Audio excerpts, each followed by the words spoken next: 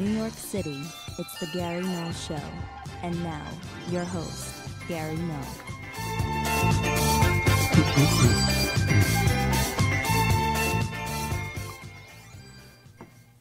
Hi, everyone.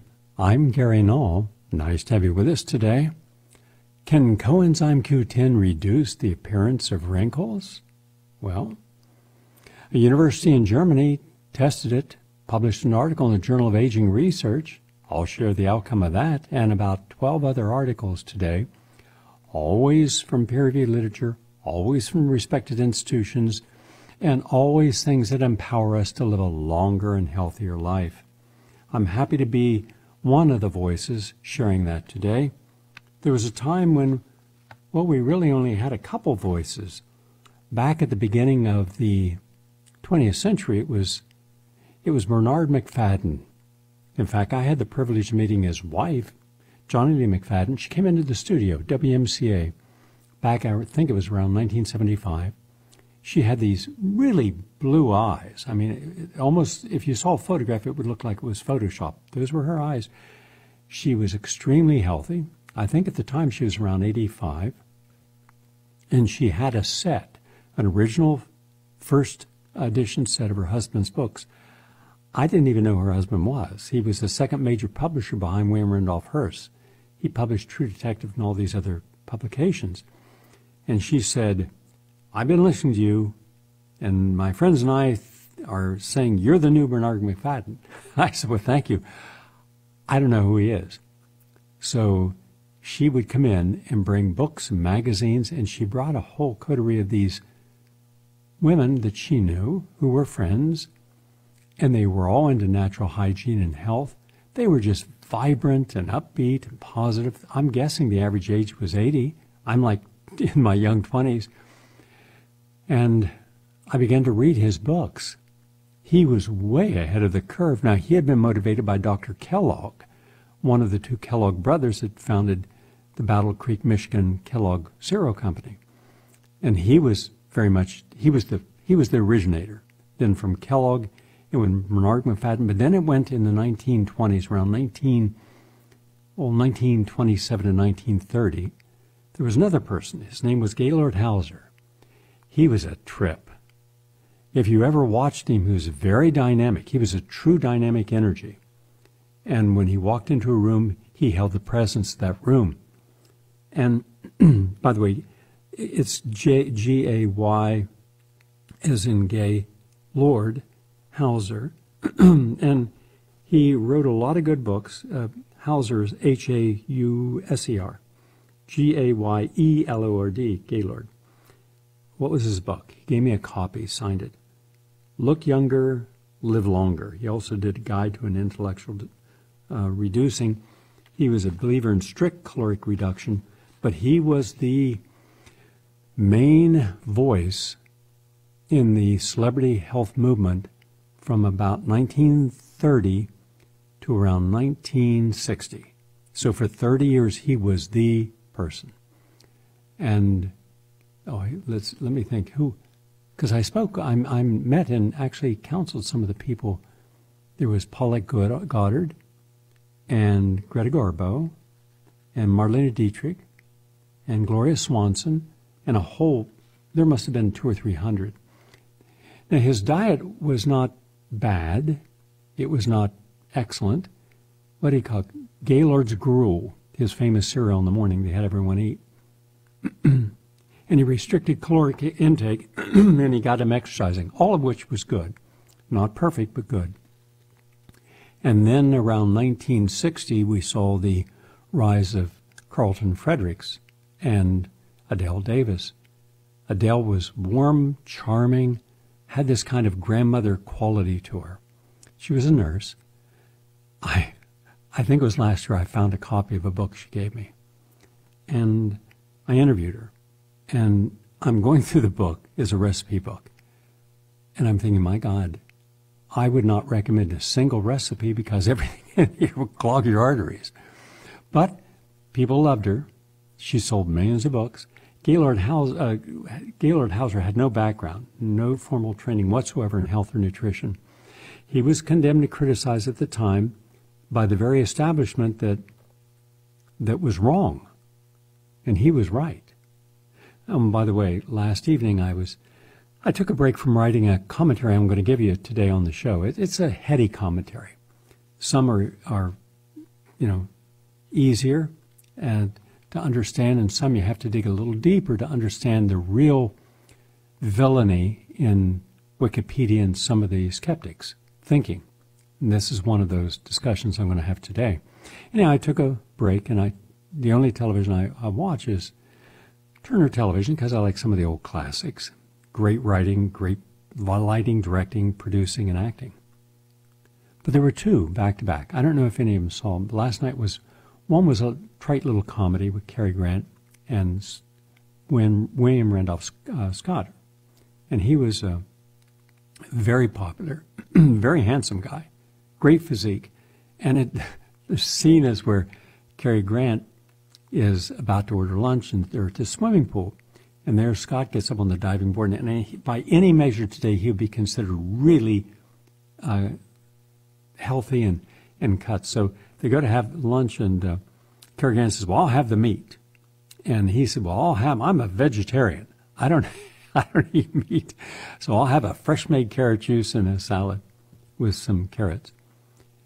And I'm thinking, well, that's the first time I ever heard someone advocating vegetarianism in a film. Now, maybe there were others. I, I didn't see all films, needless to say. but I just thought that was kind of interesting because at that time, in the 30s, Gaylord Hauser was the voice for a healthy diet in Hollywood. I was just curious, wonder if the scriptwriter used any of the popularity because Hauser was everywhere in all the magazines, newspapers, everywhere. He loved the media. Anyhow, skip ahead. Mr. Smith Goes to Washington with Jimmy Stewart. It was a, and Claude Rains. And if you haven't seen it, wow. If there's one film that stands out, it's that. Now, there are more profound films that stand out uh, with Charles Laughton and some of the later ones, and Orson Welles. But this was absolutely unique in this sense.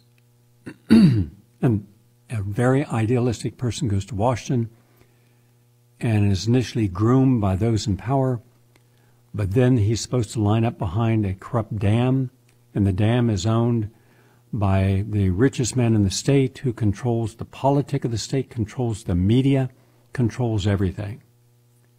And so they go to censor the young idealist. They set him up. They lie about him. The media doesn't question the lies, and he's to be thrown out of the Senate. But at the last moment, this woman motivates him to stand up. How would the, how would all those young people, those teenagers you were trying to find a place for a couple weeks a year to go and be in nature, um, and how would they feel if you had to go home and say, I didn't put up a fight? I just accepted defeat. Very motivational. I mean, very inspiring. That's when in the movie, its script, its writing, begins to touch your heart. So I'm sitting here, I'm feeling this energy. And I'm thinking, my God, they're talking about today. That 60 year old film is absolutely today how the whole machine is corrupt, the oligarchy, the left and the right, the Democrat Republican, from Clinton's, the most corrupt couple to ever hold power in America, to the media, to Rachel Maddow and, and Sean Hannity, all of them, all swimming in one gigantic shark pool looking for a nosebleed. And the people who challenge it, the people who are like Jimmy Stewart who say, we're going to talk about what's wrong. Whether you, whether you have power or not, wrong is still wrong. Yeah. But they have the power to make you wrong because they can control public perception of you. They can lie about you. They, they manipulate everything. They manipulate Wikipedia. They lie on Wikipedia all the time about who people are in their background. Great people. People far above in spiritual and ethical values than the editors who are editing their blogs not allowing any changes. In any case, he gets up and he uses common sense and reason, and people respond. Even when they're being propagandized by the news media, this person's wrong, throw him out of Washington, he's a disgrace. So he had no advocate on his side, except the lead character, this corrupt old senator, finally reminds himself of ethics and then confesses. And then that's the story. You really should watch this film. Mr. Smith Goes to Washington. It sometimes is confused with Mr. Deeds with Gary Cooper, also with Barbara Stanwyck in a moral story about power corrupting. But this is a this is absolutely you think this was written for today where everything is lopsided, everything is upside down, everything is its opposite, and people are awakening. People by the millions are standing up and they're saying, no more. You've lied to us. You betrayed us. Who do you think voted for Trump? Do you want to believe that it was a bunch of, quote, um, rednecks, you know, racists, white supremacists? That's it? 63 million of them? It's not. Trump would not have been elected on any circumstance had the Democrats followed up on their promises they've been making for 50 years. And everything they said they would do for people, they did just the opposite, knowing the average person doesn't follow carefully through on a bill, a law, and how it impacts them. Well, now people are awakened. So if you can, watch that. Anyhow, that was just a little aside because the two things came together last night, and I I wrote a little bit about it. So here's the question on health Can coenzyme Q10 reduce the appearance of wrinkles?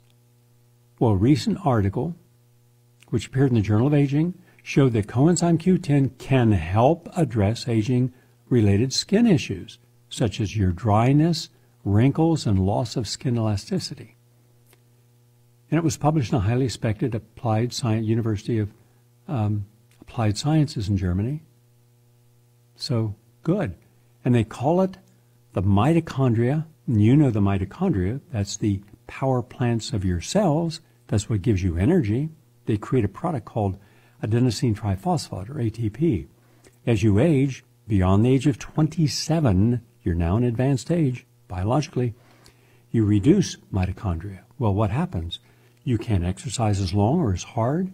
You can't think as long eh, without, you know, getting brain fatigue. You can't remember as well. You start to lose your cognition, but you have billions, hundreds of billions of cells. So it takes time until the day comes in your 50s when you, really start to forget things. What, what, what, what the heck was the name of that movie I saw? What was, I just read a page in a book. I can't remember what I read. And then you start to realize, where'd I put my keys? And then you're outside. Did I turn off the fire when I was making tea? these things start to go through us.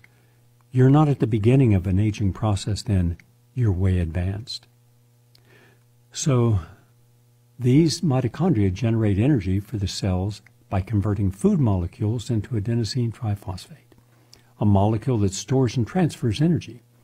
But over time, the mitochondria become damaged due to oxidative stress and toxins and infections this hampers their ability to produce ATP and can leave cells with an energy deficit. In the skin, a lack of ATP means that cells are unable to maintain and repair themselves, causing the skin to appear wrinkled and saggy. So there's where coenzyme Q10 comes in, and it works. Now, I suggest that if you use it with quercetin and vitamin C together, you have tighter skin, better skin, and overall improved quality of skin. From Johns Hopkins School of Public Health comes a new study on the ethnobotanical medicine is effective against the bacterium causing Lyme's disease. Now, this is new, and this is really important considering how many people I counsel with Lyme's disease.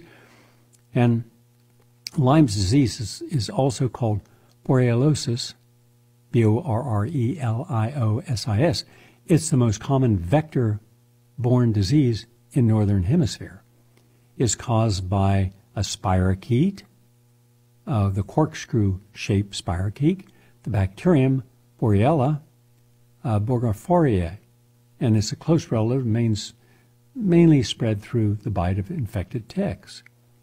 Currently, there are 300,000 new cases every year compared to 65,000 in Europe. And by the way, if you should have a farm or if you have enough property, get yourself guinea hens. They're terrific on two counts. One, they're voracious eaters of ticks, spiders, fleas, whatever's in that ground, they're going to eat and eat a ton of it. And they're also, they go together, very funny to watch. Suddenly they'll all go running together and for no particular reason. But if there's a predator around, they squawk. They put up a, you know, put up a noise. So they're good watch animals. And I have them. Uh, always have chickens free roaming, and they come back in the evening when it gets sunset, and then you lock them in for safety. Same thing with the guinea hens. And once you keep a guinea hen, a peacock, uh, in fact, I'm going to be giving away some peacocks to people who want to give them a home for life. Uh, normally, a peacock will live around five years, sometimes seven years. Mine, I've got one still alive 13 years later. And uh, they're very beautiful animals. They're tame. They're easy. They go through patterns where they like to go each day. Um, in any case, um, you keep them locked up in a confined place for three weeks and you feed them, water them every day, clean their area. Then you let them out. And that's how you keep them from going out. Also, if you make sure that each day uh, you have food at the right time, like, you know, some grains you give them. And I give them raw organic peanuts every morning, every afternoon. And they won't fly away, they won't go away. Anyhow, just something for you to know to get rid of ticks. That's the key. Keep in mind, in all my years of living on a farm or a ranch and being an organic farmer, I've never had poison ivy, poison oak, poison sumac. Not, I'm not immune to it. It's just I pay attention. And I'll always put coconut oil on my skin when I'm working outside in the garden. And that protects you. It also protects you from mosquitoes. No mosquito bites and no ticks. Always wear white socks just put a little Vaseline around and tea tree oil around the bottom of your shoe, and it prevents the ticks from getting on. And if one should get on, then you see it. And you put your sock on the outside of your pants when you're hiking. I love to hike, love to go in the woods. After all, spent 10 years in the scouts and got up to a scoutmaster. And lots of time with nature. Just be smart. Just be attentive. And it works. So now we know that that ethnobotanical medicine is effective against this. Before it was just antibiotics, antibiotics, antibiotics. But a good article published in the peer reviewed journal Frontiers in Medicine at John Hopkins Bloomberg School of Public Health, and there was also California Center for Functional Medicine, and they found 14 plant extracts to kill the Borrelia. Compared to the current used Lyme antibiotics, doxycycline, and uh, the researchers tested these extract effectiveness in vitro, meaning outside of a living organism, and they found that it really worked. They, they show black walnut, cat's claw, sweet wormwood, Mediterranean rock rose, Chinese skullcap had strong activity against the uh, Lyme spirochete. And by the way, outperformed the antibiotics with no negative side effects. So, something new, something natural, something important, and something that works. Oh, and by the way, I was asked the other day, I was down at the farmer's market, and I go down there to get the food for what I don't grow myself for, for of the animals. I like to get them fresh, organic food, and I like to support farmers markets.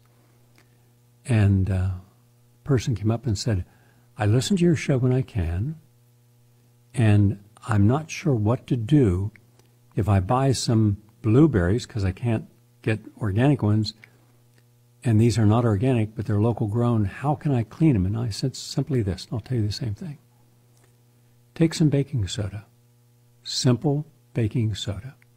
Add two teaspoons of baking soda to a bowl of water. Then you put your produce in the water and let it sit there for 10 minutes. Then agitate it, rinse it throughout the water, agitate, rinse throughout the water, and you're good to go. You've removed all of the debris, bacteria, molds, yeast, fungi, and pesticides. And if you're concerned about hypertension because you're pregnant, which is really common, according to a new Malpiglia University in Italy, vitamin D, calcium, folic acid, and resveratrol can prevent the development of hypertension during pregnancy. So, all good. We are 20 minutes into our program. I'll save the rest for another day because we're going to take a break. And when we come back, a new, original, in depth essay entitled A Marriage Made in Hell Militant Atheism, Scientism, Wikipedia, and Eugenics. I'll be tying that all together. Please stay with us.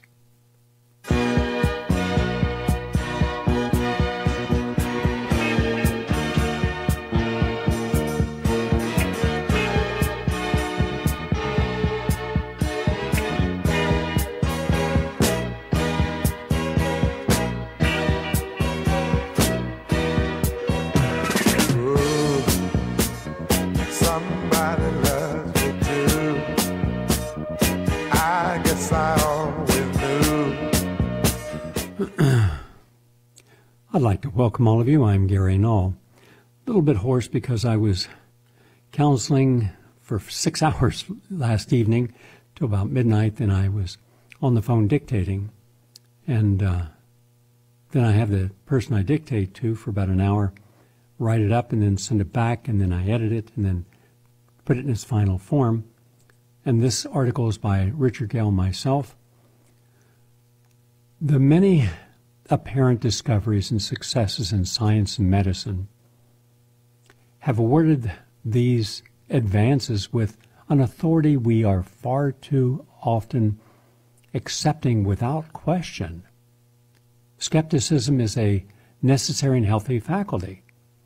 We should all be skeptical to examine for the truth, not allow our conditioned self, whether familial conditioning, political conditioning, religious conditioning, uh, civic conditioning, to be the final arbiter of what is true, but rather use our own individual capacity, common sense, reason, and facts. It's like saying, this person's been accused of something, so therefore they must be guilty. No, that may have the power of social mob rule authority, but it has not been proven until it is and then use the facts at hand rather than our opinion, because opinions, as we know, can vary and be extremely misleading. So, I believe that we should hold a healthy skepticism. Would you believe everything that is said by Rachel Maddow or Sean Hannity on the other side of that political equation? You shouldn't. What if neither have the truth? What if a place that they do not deem acceptable has the truth?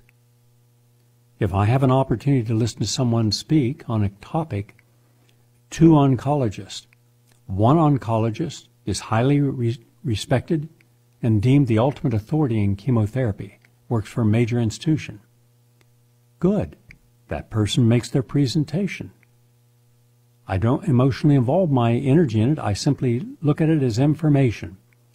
But on the other side, I'm now given another discussion on oncology and cancer and what this person says as a clinical board certified oncologist is exactly the opposite of what the other. The one is saying that there are hundreds of cancers, they each have different causes, they must each be treated differently, and you're going to use surgery, chemotherapy, and radiation in some combination, and then tamoxifen afterwards, and possibly preventative radiation and preventative chemotherapy, and all of the science is on our side.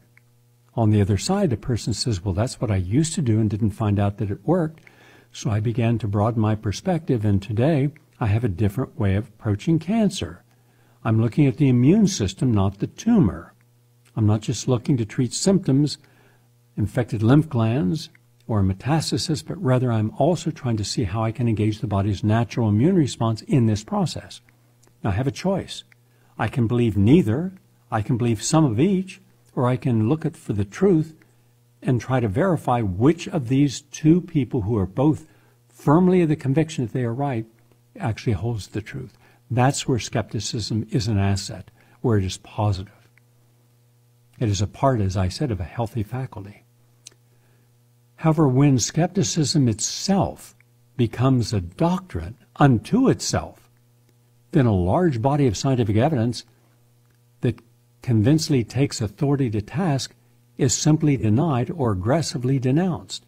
So in our society today, the oncologists who said there's only one way and everywhere else is quackery, even if you're another oncologist, even if every one of your cancer patients has their cancer reversed, you're wrong.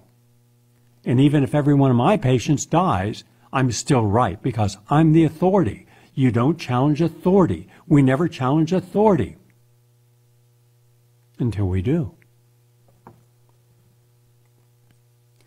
Surrendering critical thinking and healthy skepticism to authority figures and institutions more often than not sidelines both the scientific and social need for and institutions more often than not do not allow open and honest debate that can bring forth evidence that challenges the rule and control of a dominant authoritative view. Of course, many of the most radical scientific voices of the past who challenged authoritative paradigms were marked heretics, Galileo and Newton. And inevitably, with the passage of time, the mavericks were proven correct. The power at the moment was wrong. Think for a moment who was right about Vietnam? All of us who were against the war for obvious reasons, or those who were pro war? Did they ever apologize? Did anyone ever lose their position of power or authority? No. Think about the Iraq War. Who was right with weapons of mass destruction and regime change? No one had to pay a penalty for being wrong, and those in power, no matter how often they make the wrong choice, still maintain their power. And those who are right and challenge power are always excluded from having been given any respect.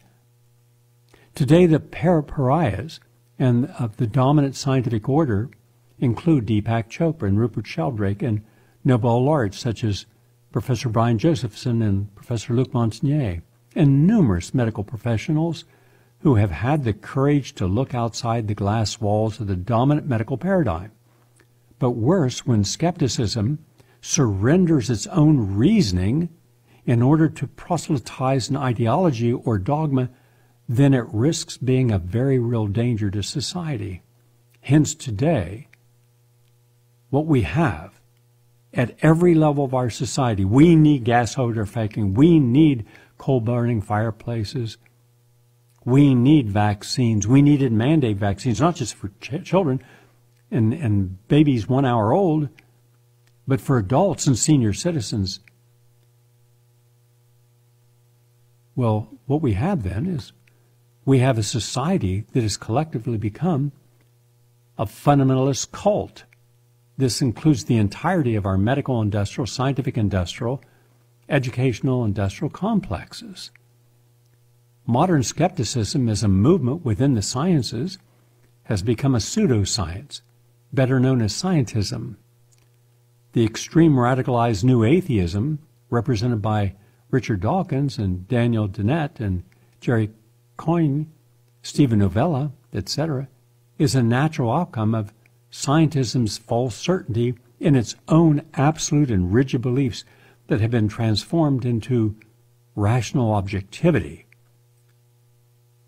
The Merriam Webster Dictionary defines scientism as, quote, an exaggerated trust in the efficacy of the methods of natural science applied to all areas of investigation, end quote.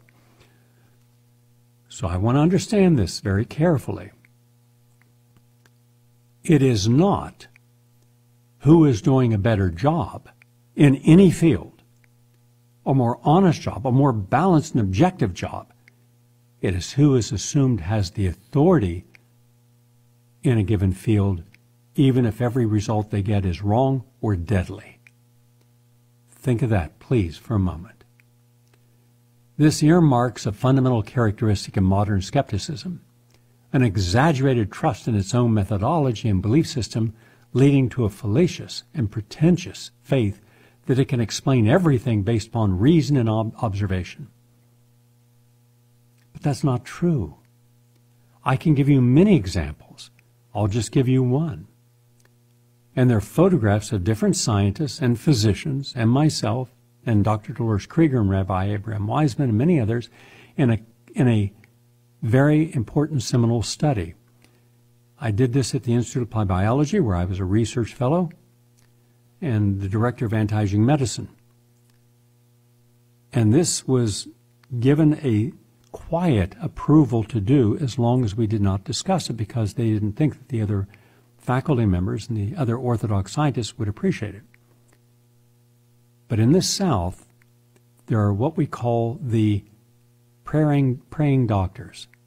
These are doctors, not all, but these are doctors of faith who will come and sit beside a patient in a hospital or a home, hold their hand, and pray with them. And the question was did it make a difference? Was it purely a placebo effect? So I wanted to see if there was a scientific way of evaluating this by uh, what is known as Occam's razor, a 14th century theologian, philosopher, ethicist, who used the concept of the razor of cutting through all of the nonsensical uh, thoughts and beliefs and going right to the issue. And the only way I could do that is get non humans who would not be influenced by placebo, hence mice, and people who claim they could help heal, always from different backgrounds, and then see could they do it. And of 50 people who were in this study that took almost a year to prepare, six of the individuals were able to duplicate the healing that no one else had. But then that doesn't prove anything. You have to reproduce it. We reproduced it six times over a year. And over that year, every single one of those six people was able to re- remove the cancer completely. So we knew we had a phenomena that showed that we did not understand it. Now, each person can say they understood it from their own belief system, and they could be right. But science would not have that because it wouldn't want it just a phenomena. It would understand the mechanisms because until it understands the mechanisms, and that's its reductionistic value system, reduce it all down to a mathematical equation, they wouldn't accept it. So we cured mice six times out of six. Just, just the same six people did it. Rabbi Abraham Weizmann, Dr. Thomas Kruth, um, Dr. Uh, let's see, there was Dr. Morton Jacobs, uh, Dr. Audrey Cargere, and uh, the head of nursing at New York University Medical School. And from that effort that she made, she was so impressed that she founded Therapeutic Touch. So every nursing college in the United States that teaches Therapeutic Touch that's where it originated, that study. But you see, the skeptics would not accept that, even though it, we used every possible gold standard scientific principle to validate it because they can't understand. They can't wrap their minds around because they're not people of faith. And if you're not a person of faith, then how do you believe that you, as a person of faith, can share an energy that can transcend the limitations of a reductionist way of healing? Oh, you can only heal with medicine. You can only heal with surgery, radiation, chemotherapy. You can't heal with a thought or a prayer. That's nonsense. You're superstitious. You're, you know, you're, you're a fool. No. People throughout all of history have used their faith to understand the power of healing.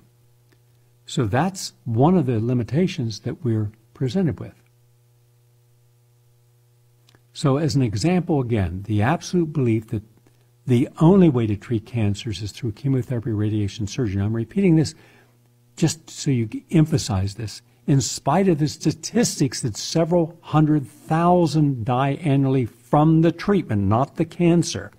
So if we have nearly 600,000 dying this past year from cancer, at least 300,000 or more died from the treatment itself. Hence, scientism's paradox, and this is a paradox, that people who are rewarded based upon the certainty of their beliefs and methodologies, even when the results fail to be achieved by the desired goal.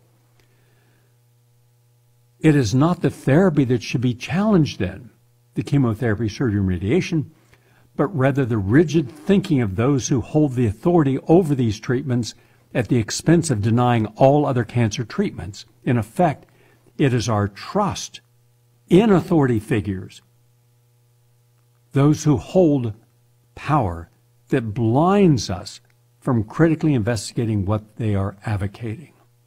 And that is as true in the political landscape as anywhere else. I'll give you one more example of this. Do you remember I said that we could save not 300 billion as Bernie Sanders touting, but we could save 1.7 trillion dollars a year We've proven it. We've shared it. We've written about it. It is out there. Leading economists around the world, like Michael Hudson, Professor Hudson, have reviewed this. Because what we did, we simply took each piece of the problem and we said, where does this money go to? Well, $1 trillion goes to the insurance industry for administration fees. But if you have universal health care under Medicare, you don't need the administration. You could remove that then doctors are overtreating because they're afraid of being sued. They have to overtreat everything, overdiagnose, overtest. You could save 200 billion there. The price of drugs, some drugs we found and actually published the top 10 drugs in America, number 1 through 10, and they make anywhere from 3,000 to 300,000% markup over their 30-day generic. And we gave how much a 30-day supply at the generic level, like 10 cents, 10 pennies, and it goes for 300 or $400. Now, if we can find this out and we publish it, putting ourselves out there, putting our reputations out there, putting our scholarship out there, saying, this is what we're saying. Give industry a profit of 200%. If you go into any store in the United States, if you go into a bakery or a restaurant, if you go into a drugstore, they're working on under 50%. So let's give medicine 200%, the pharmaceutical industry. You would save over 2 $100 billion a year by the excess profiteering. Do the same thing for hospitals and every hospital procedure. And therefore you say, well, this bag of saline cost the hospital $2. You're selling it for $100 to the patient. Get rid of that. So if you took the excess profit out, you would save $1.7 trillion, and we went through all of it. But that is reasonable science and scholarship, what we have is an irrational belief that people who are unqualified in any of these areas get together and someone in an office who's assigned to policy on foreign policy, policy on banking policy, policy on debt uh, policy. These people come together and throw together papers so the legislators just have to recite them, mimic what they're told. This isn't any way to have honest and authentic change. But that's what we have everywhere. The same the same self-confidence extends to modern skepticism, scientism, to discredit everything associated with religion and spirituality. The paranormal, nonsense they say, and non-conventional and traditional medical systems, don't try them. In short, similar to religious fundamentalism, when skepticism takes its beliefs literally, it becomes its own ideology. And this ideology, not unlike today's most militant religious movements, poses an enormous threat to a democratic society and the freedoms of a true democracy. If we say we're a democracy, where we're actually a republic, but I think everyone understands we should have freedoms. But we have no freedom of choice when it comes to medicine, nor do our children. In the developed world, we are fortunate to have freedom of speech, freedom to follow a religion or not. We have the choice to marry or not. We can marry who we want without an arranged marriage. We have the freedom to decide what we can eat, how much, and when. We can decide the freedom to choose to abuse or to benefit our bodies. There are still choices to decide on the type of medical treatment we prefer, but those are being eliminated. Unfortunately, many of our freedoms are now being oppressively challenged. For example, the unholy alliance between the pharmaceutical industry and federal and state governments is determined to mandate and enforce vaccination. The unspoken hidden argument in this effort is that we have no choice, nor should we have choices, because we are merely the unwashed illiterate. Therefore, those on high, there goes back to what I said earlier, they're the authorities and never challenge authority. You didn't go to medical school. You, you're not the top person within your field. They are. They're the ones who sit on committees and, and give Congress their input, and there's never a challenge. To you, there's never credibility. That is how this gets injected into the body politic. Efforts are even underway to make criticism of Israel's illegal settlements on Palestinian land a criminal act. Activism supporting divestiture from firms supporting Israel's apartheid over Palestinians are equally being repressed. In fact, the government alone, along with Google and Facebook, monitor every single thing said about Israel. And if it's not officially acceptable, then Wikipedia and Google and others are playing the role of censor. And they are now an official agent of attack on the character of those who raise legitimate civil questions. You're no longer allowed to have even a civil question. They're getting laws passed. Our recent episode may offer a glimpse into the potential nightmare hidden in the marriage between skepticism, scientism, and the new atheism. Last Sunday, the world's most popular atheist and representative of scientism is Richard Dawkins. He stated on Twitter that eugenics is a workable solution. Now you may say that, who would say that? Well, it was a strange pronouncement that Dawkins sent to his almost three million followers. He did not defend eugenics for any more moral reason. However, ethical concerns aside, we should not assume it is a workable solution to problems. He posted, quote, It's one thing to deplore eugenics on ideological, political, moral grounds. It's quite another to conclude that it wouldn't work in practice. Of course it would. It works for cows, horses, pigs, dogs, and roses. Why on earth wouldn't it work for humans? Facts ignore ideology, end quote. So says Richard Dawkins. Writing for the blog The Friendly Atheist, Hemant Mehta speculates that perhaps Dawkins was making an off the cuff comment about the resignation of UK's Prime Minister Boris uh, Johnson's senior advisor, Andrew Sabisky, who has voiced approval of a eugenics program to prevent, quote, a permanent underclass, end quote. Sabisky resigned only a day or two after uh, before Dawkins' tweet. If that is the case, then Dawkins is acknowledging eugenics' feasibility to rid society of the unwanted or improving the race through selective breeding while not condoning such a program itself. Nevertheless, from my perspective, to understand how dangerous this idea is, we only have to recall the Nazis' final solution, the Gypsies' final solution. Throughout the world, the African Americans or Africans' final solution. In the United States, the African Americans' final solution. The worst of Stalin's show trials, Mao's public executions, slave trade, and the forced sterilization of black women in the American South, and the red baiting of McCarthyism. What freedom of choice do you ever proffer to the eugenics victim? When do they have a say so in whether they have to be sterilized or castrated or used as human guinea pigs like the CDC did in the Tuskegee experiment? You didn't see the CDC going up to Connecticut, going to one of the wealthiest suburbs in Connecticut, and asking the billionaires who live there, we're doing a study of 400 more or less citizens. We're not going to treat you, we're not going to cure you of syphilis, but for the next 40 years, we'd like to see what happens. That is that would never happen. But if you did the same thing, which the, they did with poor indigenous blacks, no eyebrows were raised. Of course, Dawkins' belief that eugenic breeding of other species has been successful is ludicrous. Pedigree breeding of dogs and horses, for example, has been a medical horror for their owners and veterinarians.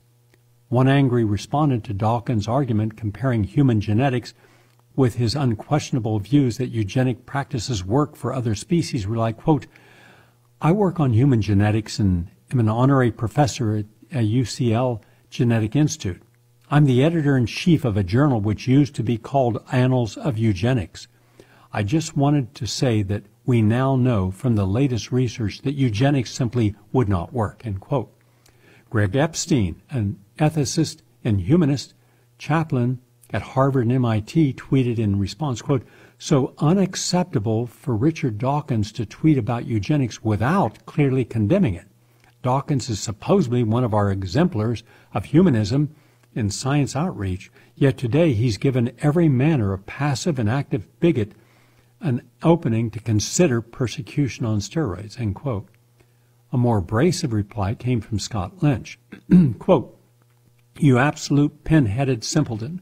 It doesn't work in practice because too many of the goals turn out to be arbitrary fantasies, and too many of those fantasies are the pet projects of abusive bigots who F up any civilization they get their hands on. Are you new here? Unquote.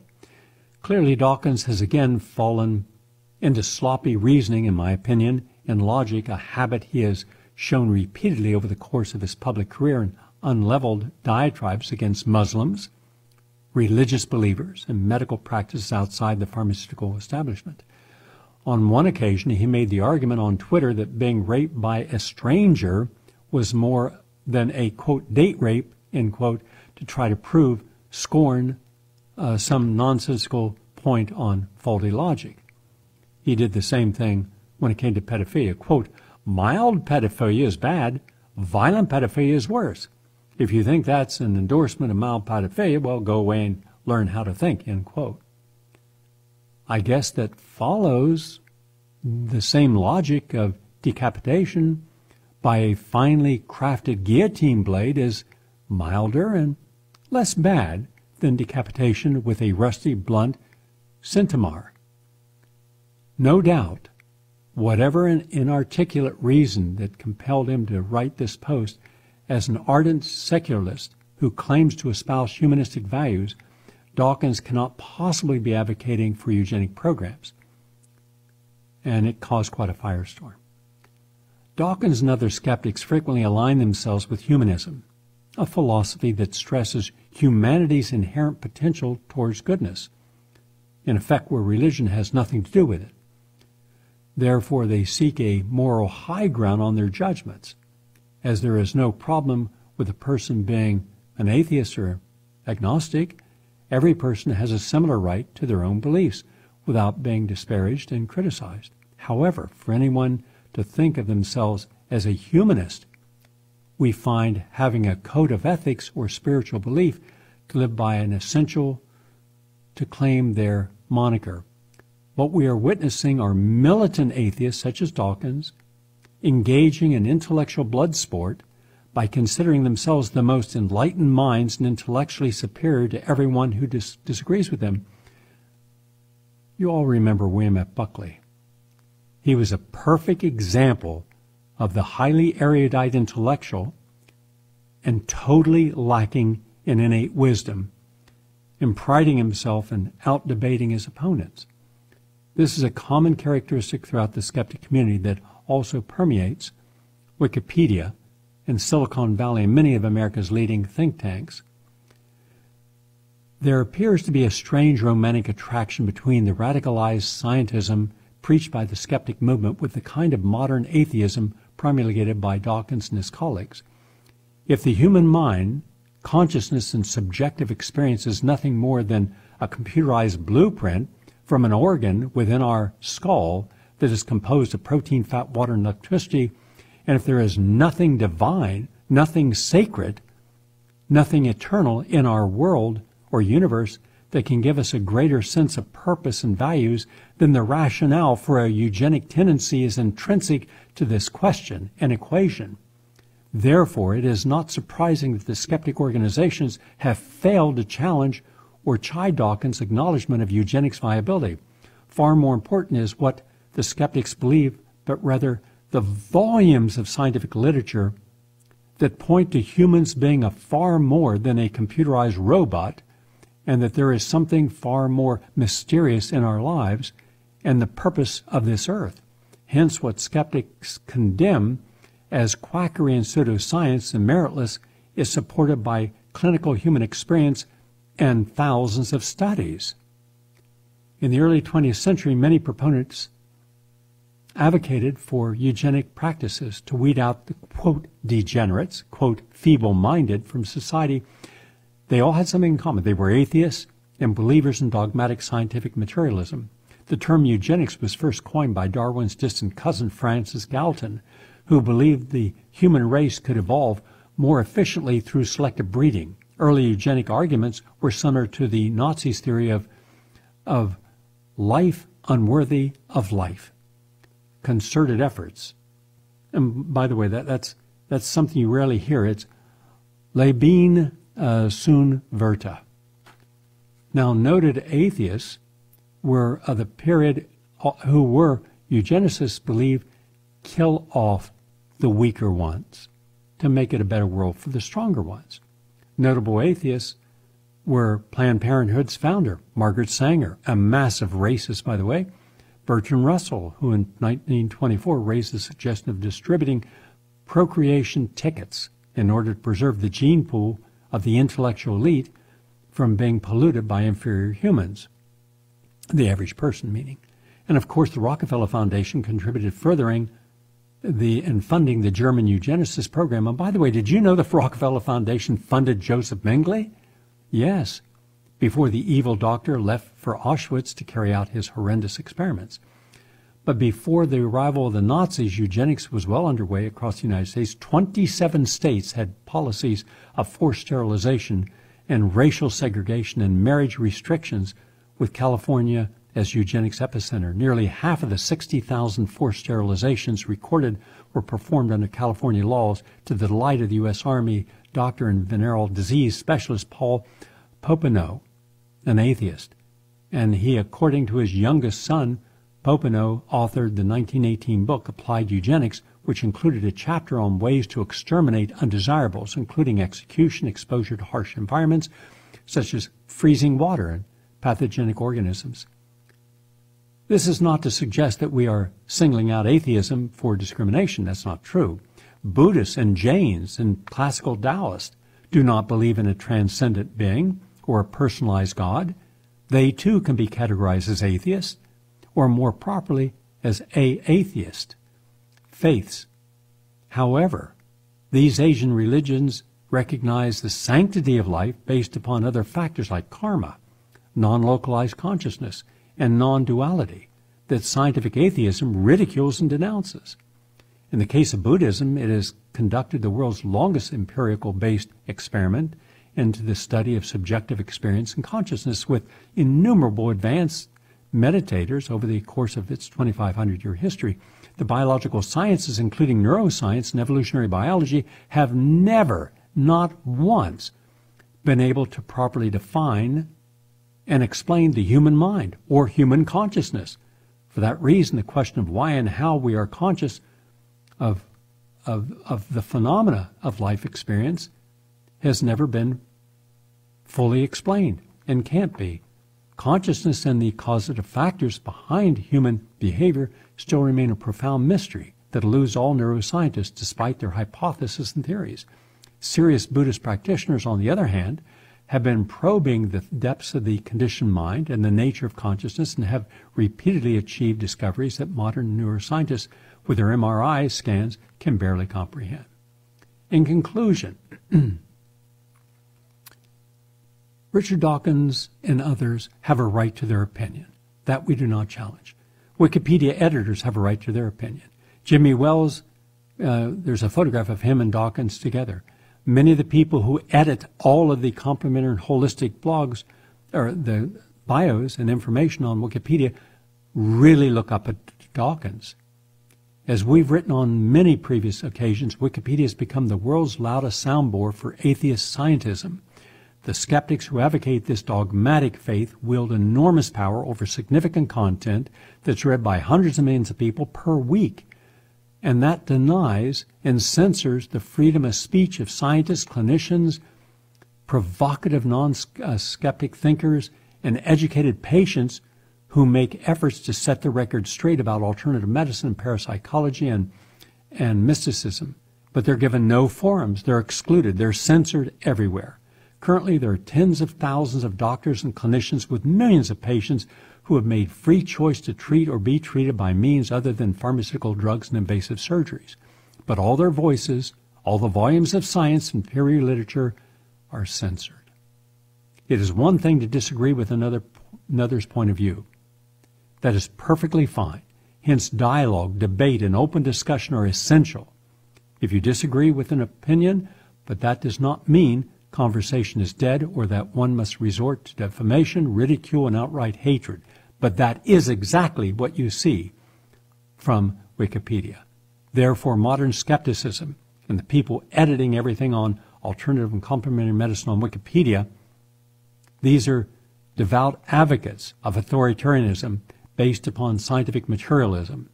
And that contains the very seeds for rebirth of, in our opinion, the eugenic philosophy. For this reason, people should be encouraged to explore this ideology more deeply, discover its contradictions, irrational weaknesses, and its threats to a free and open society. Thank you very much for listening. I'm Gary Null, and have a nice day.